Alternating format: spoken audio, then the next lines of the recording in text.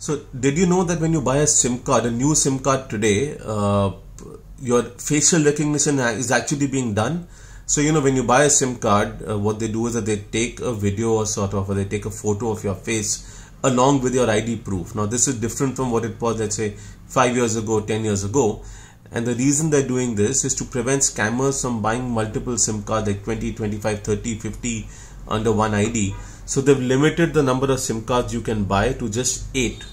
Um, but you know, and this is a program that the government is running called Astr. That's A-S-T-R.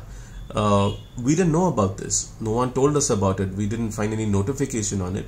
So at a conference that Medianama did uh, in in uh, in November last year, one of our attendees, a telecom operator person, actually told us that this is happening.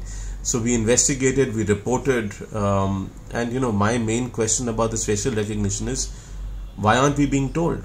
Secondly, uh, why isn't there a law to legitimize this or to because effectively it's a violation of privacy if your facial recognition is being done without you even knowing that your facial recognition is being done.